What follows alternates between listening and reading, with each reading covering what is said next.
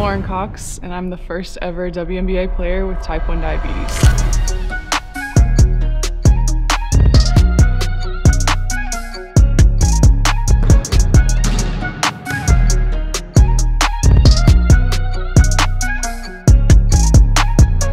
Diabetes doesn't have to stop you from chasing your dreams. You can do almost anything you set your mind to.